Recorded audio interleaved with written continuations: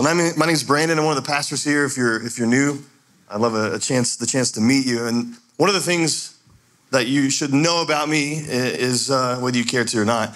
I love golf, like um, like too much, an unhealthy amount. And I, I just wanted to, to share a story with you real quick because a few weeks ago I had a life changing event that happened on a golf course. And you might think a single golf shot, golf shot can't be life changing, and I would tell you that you are wrong because it can. And uh, I was at Hillcrest. If you don't love golf, you don't care about golf, just bear with me for a second. Okay, I have a golf story, but it was a par five, hole number eleven. It's kind of a downhill, dog leg to the right. I hit a great drive to the left side of the fairway. I had 205 yards into the pin, into some wind okay? There's water in front, there's trees to the left and right. It's a pretty difficult shot. If you don't know golf, if it's a par five, that means you try to make it in five shots, okay? That's kind of your goal. And uh, so, so I'm going for the green in two.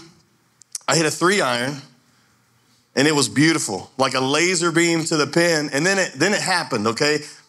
I, I never saw it bounce, but I did, I did hear it. It hit the pin. I heard, heard the clank of the pin getting hit, and I was like, oh my gosh, I just hit the pin right? And there's no telling where that ball went. It could have bounced any which way. So, so I get up to the green. And I've got my wedge and a putter because I figure I'm gonna have to chip onto the green. There's no ball, so I look in the cup and it is in the cup. Okay, yeah. I mean, yeah. I wish y'all would have been there because I could have used some applause when it happened. It was a big moment. And here's the thing it's not just that I made the shot, it's that there was no ball marks on the green. It literally hit the pin and dunked into the cup, okay? I'm not sure that's ever happened in the history of the world, okay? I've never seen it on TV. Um, it, it's so, so all that to say, I'm leaving ministry to pursue professional golf. yeah, I'm just kidding. I, I'm just kidding. I, I am definitely a below average golfer. I mean, I'm probably better than you are, but still average, okay? Uh, but that's a two. That's a two on a five. That's a, that's an albatross, is what they call it. It's, it's a very very rare occurrence. But but here, here's here's what I know. Because if, if if you know me and we have conversations outside of here, and I know that you care about golf, you've probably heard me tell that story. Okay, because I was very excited about it. I told a lot of people. Uh, here, here's here's what I know. If you are passionate about something, if something happens to you that, that excites you or, or something that's made your life better or changed your life, you're just, you're just pumped about whatever it is, you tell people about it. It's just, it's just in our nature, right? We, we all have these things in our lives. Like, you want to talk about the Cowboys? Okay, this is probably the year they win it all, but also probably not, right? Uh, you want to talk about the Spurs? Wemby is not, uh, he's from another planet, and it's amazing to watch. We, we bought a, a vacuum cleaner that changed our lives, a Dyson V10 pet, and uh, it's amazing. You have these things in your life too. What about your dumb Stanley Cup that you can't quit posting pictures of?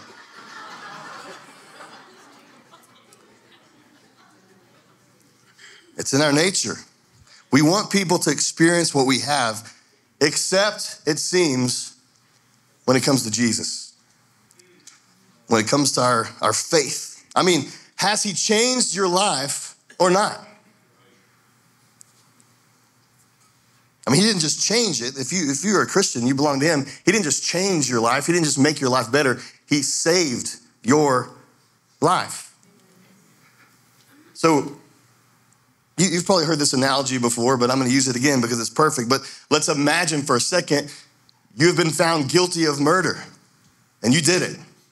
I don't know who it was. Hopefully, not who you were here with, but you killed someone, and you're you're guilty of murder and you've been sentenced to death.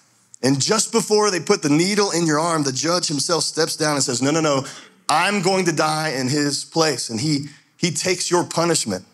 He gets put to death in your place. Would you not leave that place and tell everyone you knew what happened?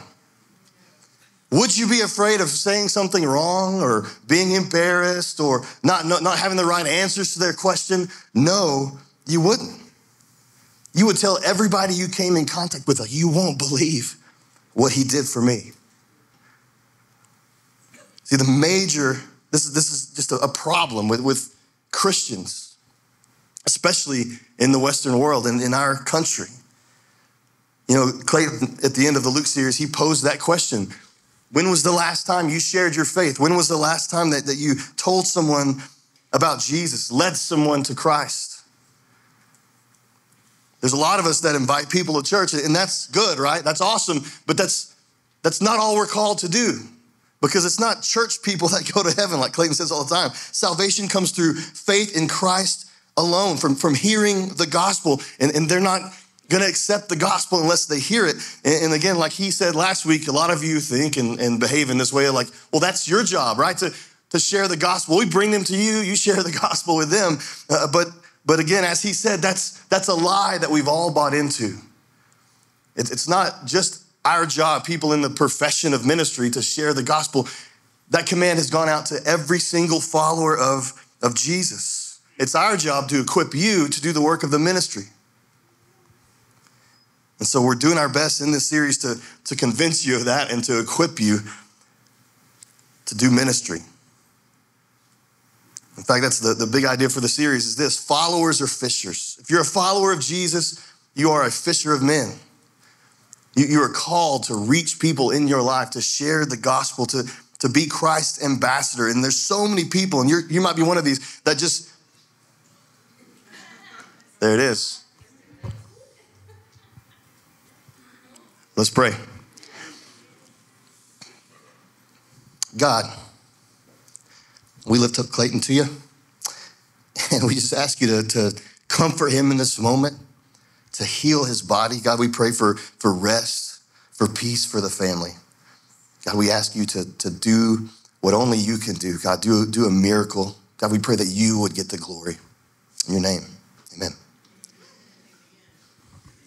So, you might be one of them that feels like you, you don't have the tools necessary. Like you, you're not comfortable sharing the gospel with people. It's a little bit intimidating to you. And here's what I know though if you attend this church on a regular basis, guess what? You hear the gospel every single week. Whether you realize it or not, it's, it's every single week. It's very, very clear the gospel presentation is shared. It, but, but there is a difference between hearing it and saying it yourself. I, I get that. It can be intimidating. You, you don't want to leave anything out, right? You don't want to say anything wrong. You might end up making somebody a Mormon or something on accident. Um, but I'm just, I'm telling you, it's simpler than you think. And what we're gonna do today is I'm gonna teach you practically uh, the, one of the most common tools for sharing the gospel, a, a, a, few, a few key verses to kind of show you how to lead someone into the truth of the gospel. It's called the Roman Road. You've probably heard of it. And actually, through uh, the research I did, most people say the Romans road, and I just can't do it, so I'm not going to. So Roman road is what I'm going to say, even though it's probably probably wrong. There's four different Romans verses, right? We're going to go through them all: Romans 3:23, 6:23, 5:8, and 10:9. And uh, we're going to teach you today your ABCs, the the ABC of the gospel of sharing the gospel. So if you have a Bible, we're going to be in Romans, starting in chapter three. If not, it'll be on the screen. I want to encourage you, especially today, there's a lot of blanks, a lot of points, and a lot of information, resources that you're going to probably want in our message notes. So if you go to the app under message notes, it's all right there for you. And you're going to wish you did if you don't. So, all right. Romans 3:23. So this is one we've all heard before. For everyone has sinned. We all fall short of God's glorious standard. So this is where we have to start. This is where it all begins. We got to get this one right. Uh, we have to agree on this, or there's nowhere to go from here, okay? We have to, number one, A, that's the A of the ABCs, admit. We have to admit that we sin, that everyone has sinned. Admit that we're a sinner. No one can claim that they're righteous just based on their own behaviors or their own sense of, of goodness or obedience or whatever, because everyone has sinned and fallen short of what God demands. What does He demand? He demands no sin. no sin. That means perfection. So, what is sin? Let's define sin. Sin is when someone violates or disobeys or even just fails to obey the known will of God as revealed in Scripture. It's when we don't do things His way. So, does the size of the sin matter? No, not really when we're talking about separation from God. The smallest, most seemingly insignificant sin is enough to separate you from a holy God. But most of us, if we want to admit it, we think we're pretty good, right? You probably think you're one of the best people that you know. You think that in your head. I know that I know that you do. That I'm good and I'm better than most people.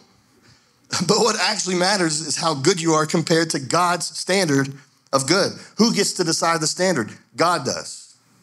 You don't. God does.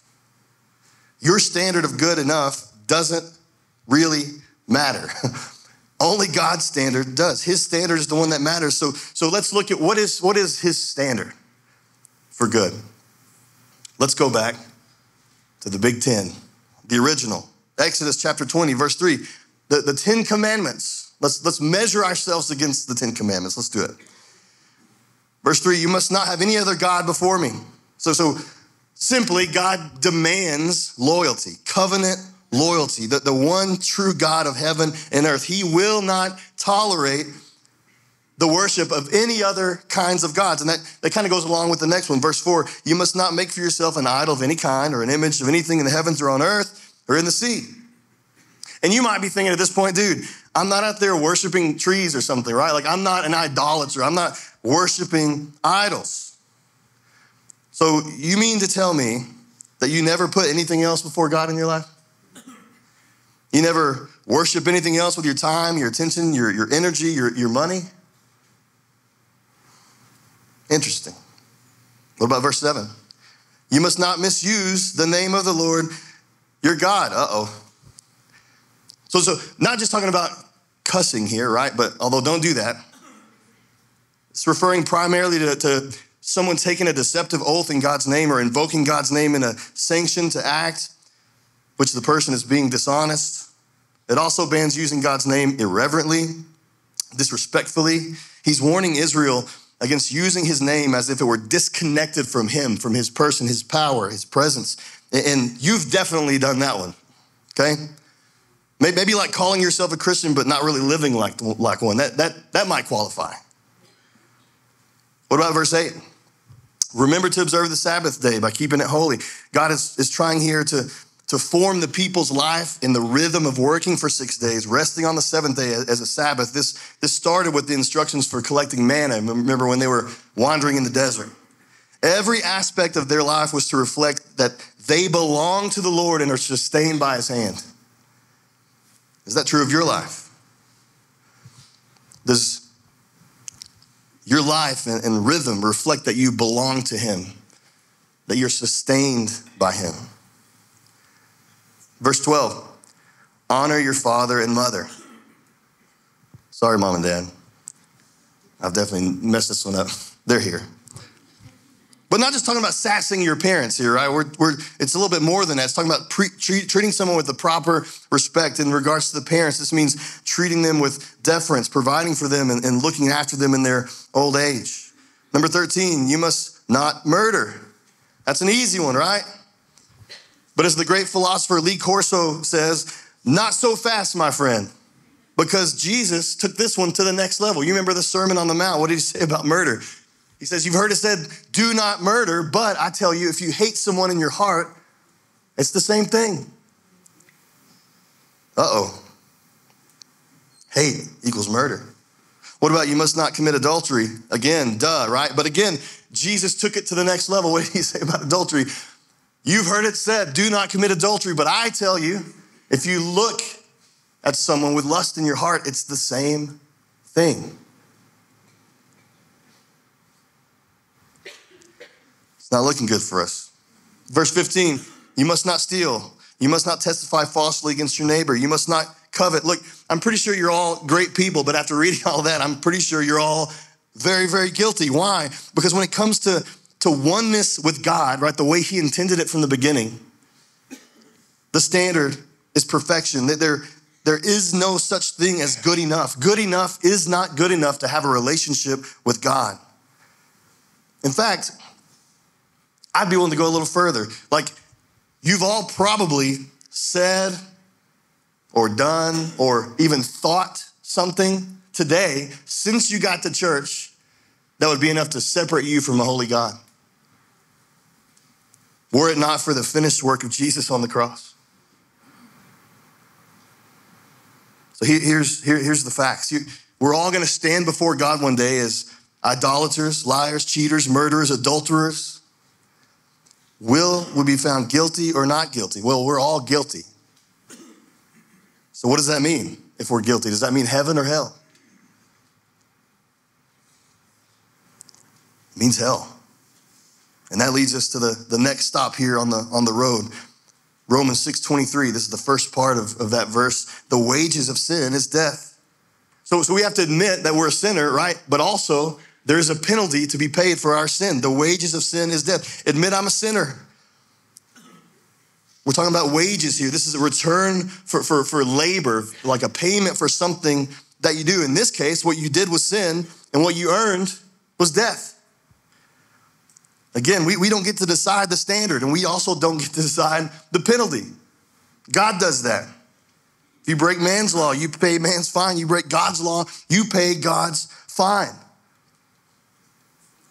With your sin, with all of our sin, we, we have offended an infinitely holy and righteous God. So the fine is infinite in its nature. The fine is, is holy in its nature. God's fine for sin is eternal death. So, so, so anyone who sins without the forgiveness through, through Jesus, they're, they're going to die both physically and a spiritual death, an eternal spiritual death. Whereas Christians, Jesus followers, we're going to get to in a second, we're promised eternal life. The, the, this, this punishment for sin isn't just what you earned, but again, we have to get this through our minds. It's what we deserve. Sin earns you death. Like we deserve death. Sin deserves death. You know what the, the biggest problem with us is when it comes to this? We undervalue our own sin and we overvalue our own goodness. We're just, we're just not that, that bad. But we don't get to decide. Like what we think doesn't, doesn't alter what's true we deserve death because of our sin. Look at the person next to you and say, You deserve death. It doesn't feel good, does it? It's true. That's the reality. Even as good as you are, even though you're the best person that you know, it's not going to be enough. That's why the good news is so good. And thankfully, the second half of that verse, verse 23, brings us some good news with a big old but. In verse 23, he says, But the free gift of God is eternal life through Christ Jesus our Lord. That's the good news. Admit we sinned, admit there's a punishment for our sin, that, that is death, and then the B. The B is believe. Admit we're sinners, and then believe that Eternal life comes through Jesus alone, not our own goodness, not our own effort, not our own good behavior or whatever, not our church attendance, but through Jesus. This is a free gift. See, you see the language here the wages of sin, right? And then now you have a free gift. A free gift is the opposite of a, of a wage. In fact, in Romans chapter 4, if you want to read it on your own, Paul goes into great detail, you know, describing the difference between the two how when someone works, their wage, it's not a gift, right? Because they, they earned it. But in God's kingdom, to be counted as righteous is not something you can earn. It is impossible to earn it. It is a free gift from God based only on faith in Jesus' finished work on the cross. And that work on the cross was the greatest display of love that the world has ever known. This is the scandal of grace. The next verse. Wrap your brains around this. Romans chapter 5, verse 8. But God showed his great love for us by sending Christ to die for us while we were still sinners. That's love. See, God's love doesn't fit in the same category of, our human love. Like it's, it's, it's in another world of its, its own. It's a different kind of love. He didn't just die for the good ones. He didn't just die for the ones that would turn to him. He didn't just die for the ones that, that, that would, would follow him. He, he died for everyone. Even the worst of sinners, the ungodly, the guilty people. living in willful rejection uh, against God, those that would mock him. He, himself said at the very end, I didn't come for those that think they're sick. I came for, I mean, those who think they're healthy. I came for those who know that they're sick. And it's not just it's not just Jesus' love displayed on the cross, it's, it's God's love. It was His plan that put all of this in action so that He could have a relationship with you. The whole thing is motivated by His love for you. Did you know God loves you? He loves you. He loves you more than anyone else in your life has ever loved you. He loves you more than anyone else in your life could ever possibly love you.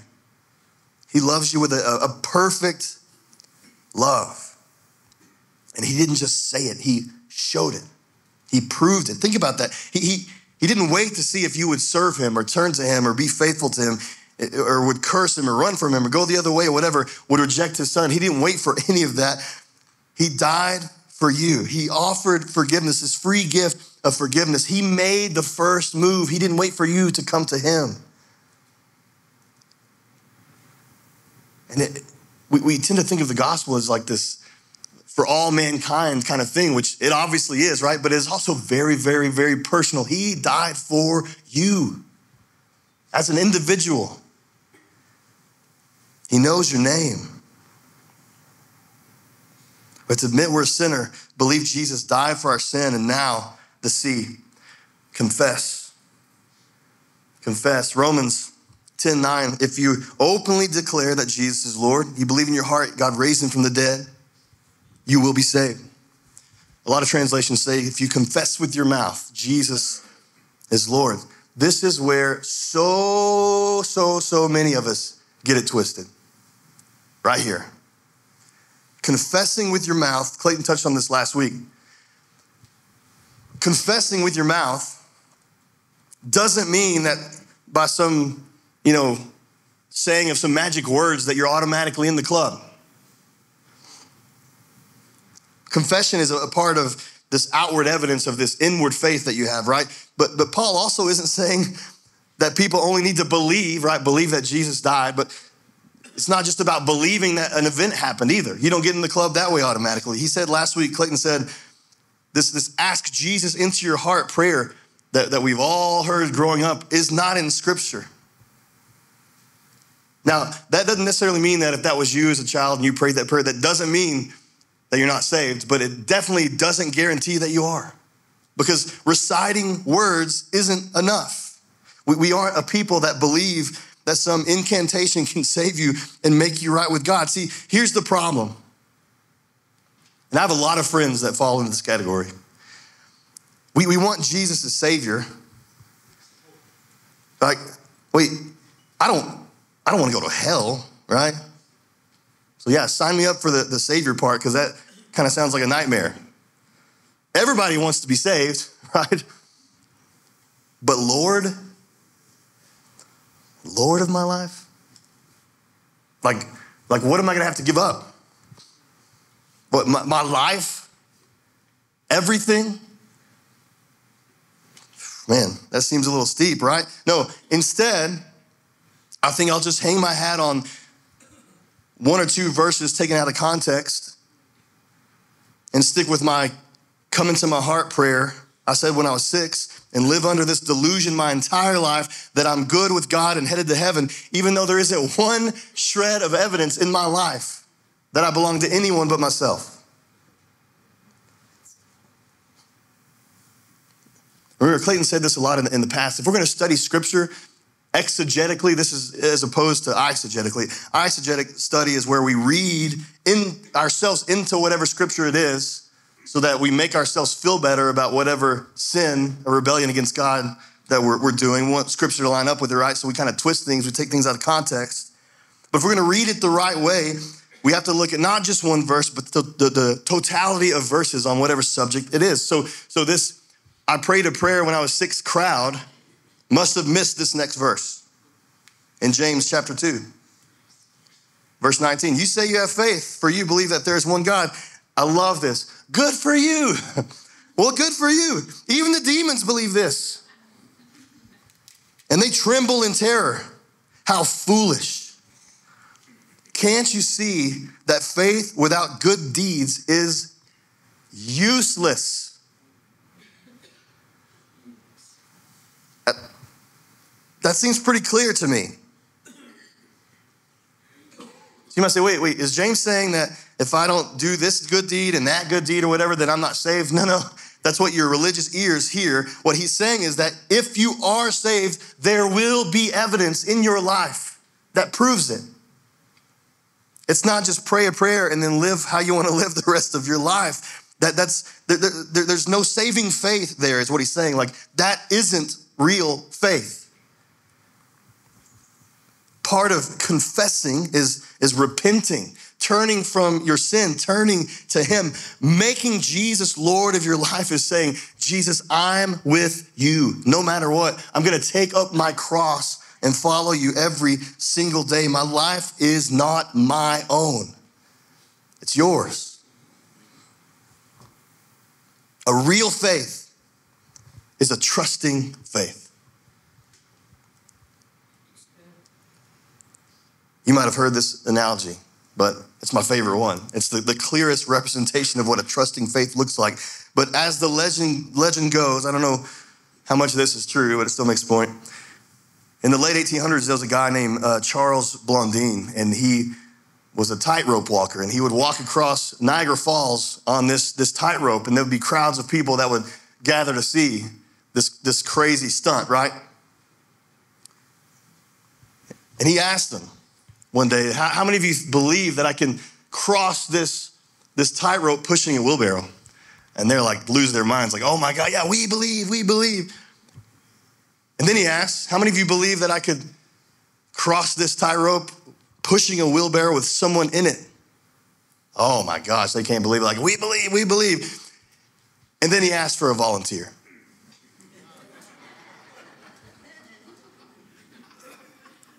So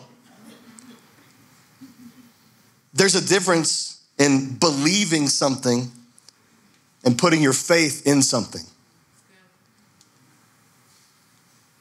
Real faith is a trusting faith, saving faith. It's, it's active. It's, it's I'm making Jesus Lord of my life. I'm trusting Him with me.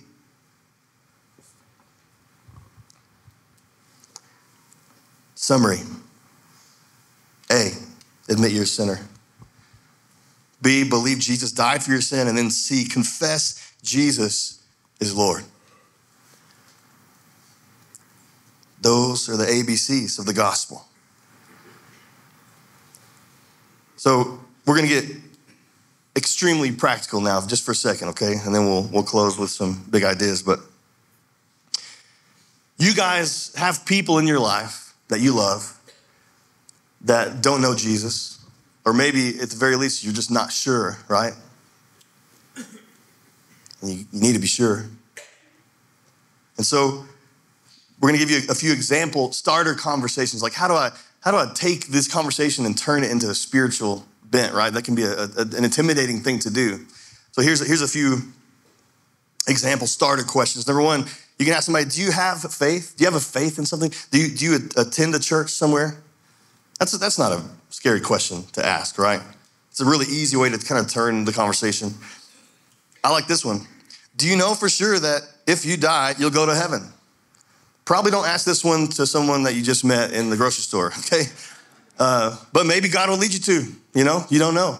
You gotta, you gotta be willing, gotta be ready, gotta be listening for the Lord to lead you. But here's the, here's the good thing about this question their answer is gonna tell you everything you need to know. What are they probably gonna say? Yeah, I, I think so. I'm a pretty good, I'm a pretty good person. And that's your cue to start with A. Admit you're a sinner. And then the B and the C, right? Would you mind if I shared my story with you? See, see, if someone's sharing a struggle that they're having in their life with you, this is a perfect invitation for you to share with them. Share your story. We're going to talk about that a lot next week, so, so don't miss it. It's a great question to always have in your, in your back pocket.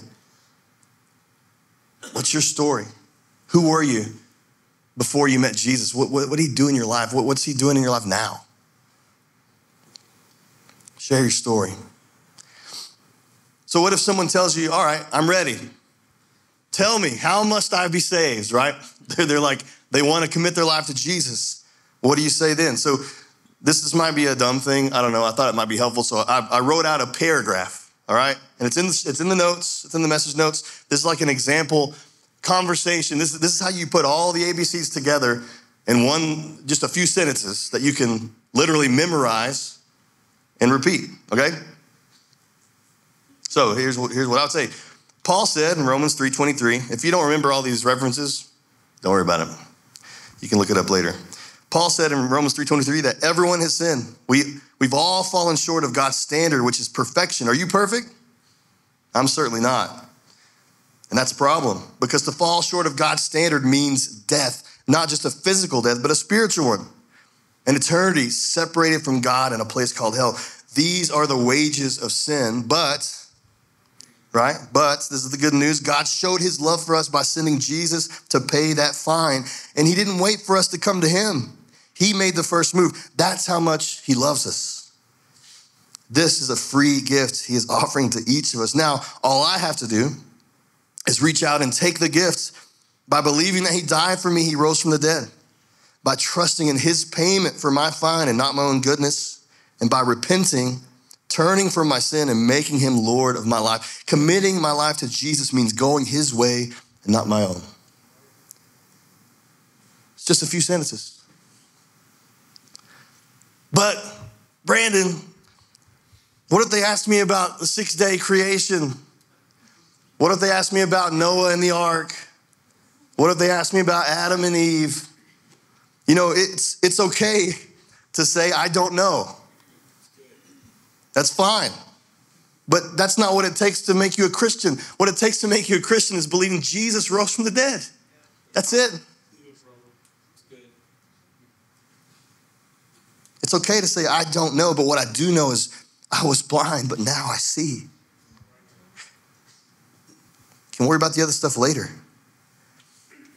Because without a resurrection, there is no Christianity, there is no Jesus following. If he, if he didn't rise, then, then all of this is pointless.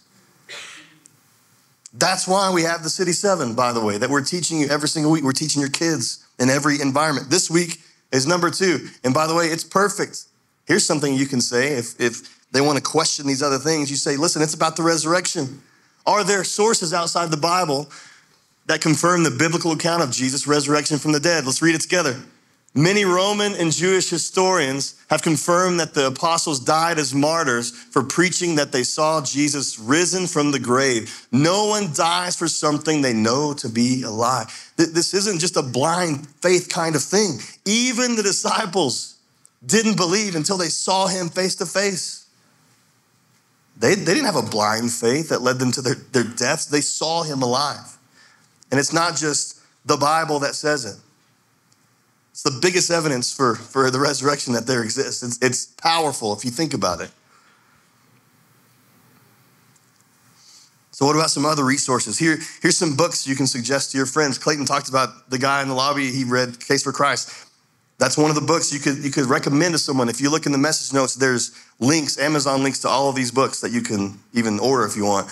Case for Christ and, and Evidence That Demands a Verdict. See, Lee Strobel and Josh McDowell were both atheists that decided to do some research.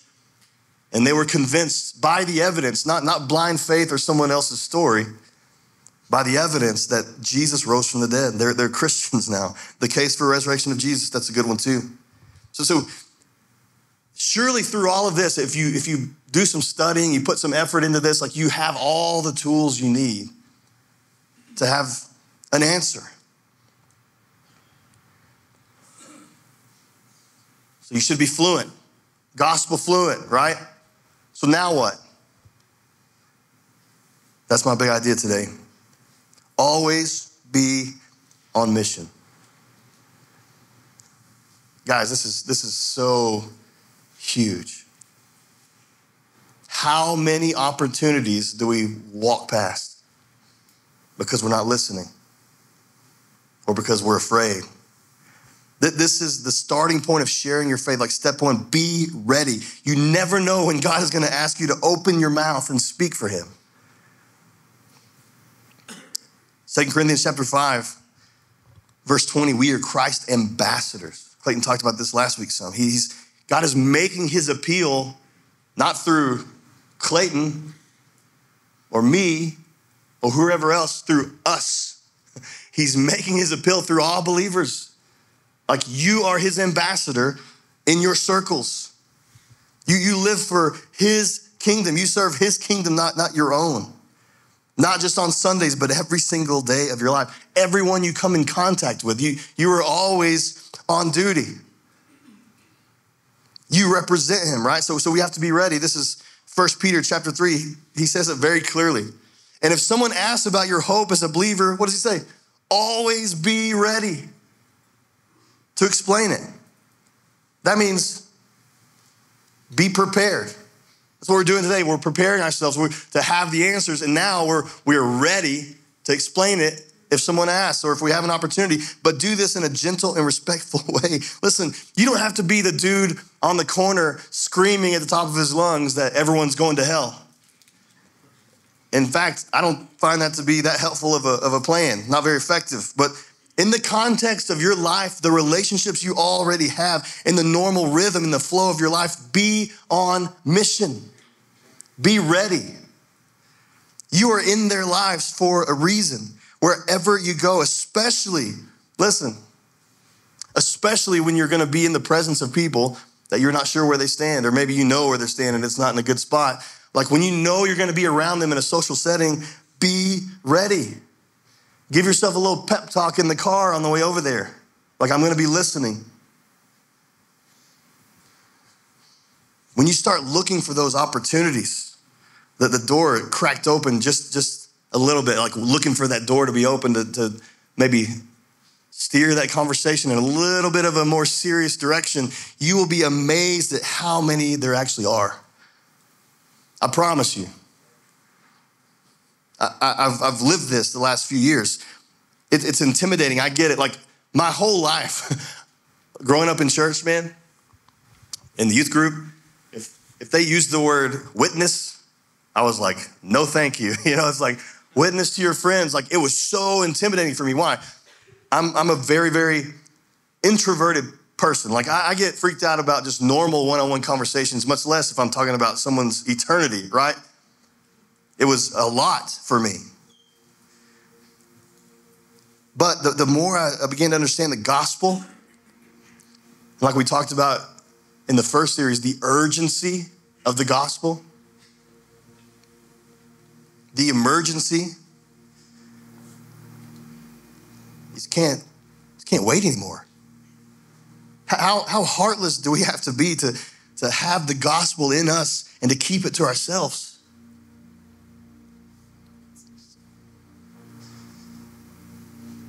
And I've, I've learned you don't, you don't have to do things perfectly. You don't have to say things perfectly. You have to be obedient.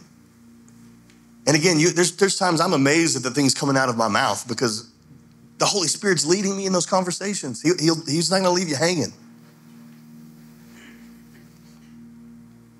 I've had difficult conversations with loved ones, even like family members, friends, during a round of golf, sitting in, in somebody's pool like two o'clock in the morning, you know, like wanting to go to bed, but just waiting for an opportunity. And they always come up. I, I've been literally sitting at the side of, of someone on their deathbed, making sure he was, he was good. But you won't get that opportunity with everyone. Years ago, I preached a, a sermon at Experience Life, and this was right after the these terrorists had just beheaded like 30 Christians on the beach. I don't know if you remember that. And I made the mistake of watching it, and we clipped it, and the, the clip went like stupid viral on Facebook, like millions of views. And I got friend requests from scary places. you know, I was like, I don't know if I made myself a target or what, but it was reaching a lot of people. But what what I think resonated with people is in this clip, I said, there are people, this isn't just a, a Bible thing. There are people right now dying for their faith. And we aren't even willing to be embarrassed for ours. Inconvenienced. Like, what, what is wrong?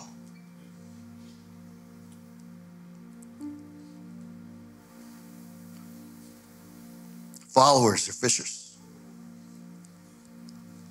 Disciples make disciples. Here's some challenges that Clayton gave us last week. Invite someone to church. That's an easy one. We should all be doing that. Pray for someone. Don't just say, praying for you, pray for them. A good first step for that is do it via text. Type out a prayer. Via, hey, I'm praying for you. Here, you type out a prayer. God, I'm praying for whatever, and you send it to him. That's, that's an easy way to get your foot in the door. Praying for somebody. Share your story. We're talking about that next week. Take Discover 101. This is a class that we're offering as part of, of midweek, starting in a couple of weeks. That it's about basic discipleship, right? Part of basic discipleship is is sharing your faith, learning, getting, getting more and more tools and, and how you can be used by God in your life. You know, as Clayton said, that the effectiveness of our church is not measured by how many people are in the seats, how many spectators we have, but how many are in the game, how many disciple makers are out there fishing. It's not about seating capacity, but sending capacity. Listen, I've had conversations with very good friends of mine that chose to leave this church because of the tough messages. You know, people that are in the I pray to prayer crowd don't like some of the things that we teach because it's scripture. And he would tell me, Good luck getting people to come. And I said, That's not our goal.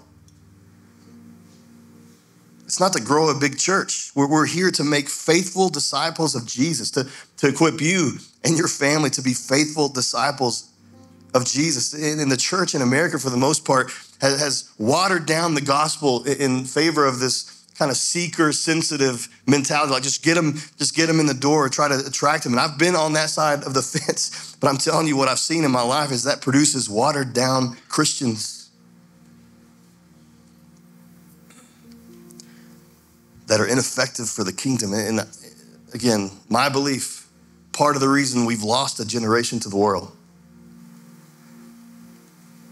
Our church family will live for what matters most in eternity. I, we, we, we know at the city our existence isn't just about this life. There, there's more to it than that. We're going to live in light of eternity. We're going to be a church that is on mission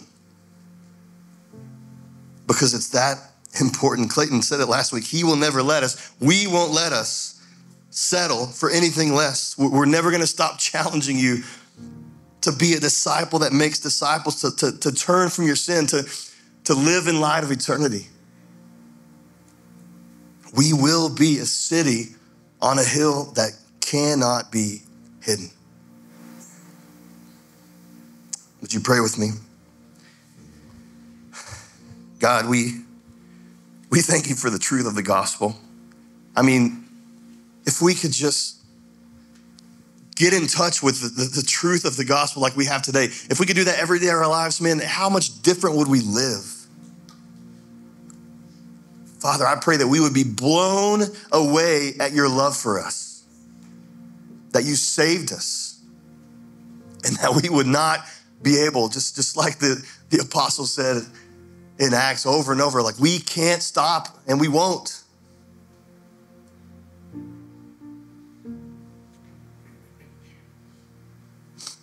Maybe you're here and as we're, we're going through the, the ABCs there, you, you've seen some flaws maybe in your own in your own theology, in your own thinking.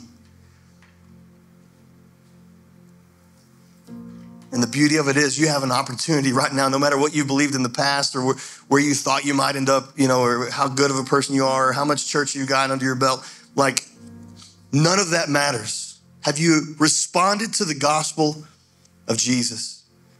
Have you gotten in the wheelbarrow? And if you haven't, today is your day, man. Don't waste another second of this life. Put your faith in what he did for you on the cross, not your own goodness. And don't just trust in him as Savior, but make him Lord of your life. Jesus, I'm going with you. And I pray, Lord, that as all of us leave this place, this wouldn't be one of those things that just, as soon as we hit the, the cold wind outside, that it just blows off of us and we, we forget everything that we've been challenged by today. I pray that this is the day we make changes in our life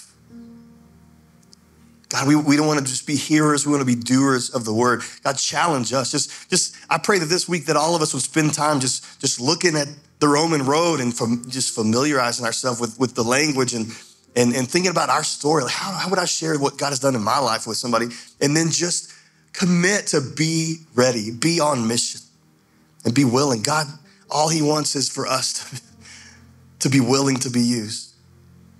That's, that's the only requirement to be used by God in amazing ways is to say yes to Him. That's it. You don't have to be the smartest or the most eloquent. So, God, do that in our, our hearts this week.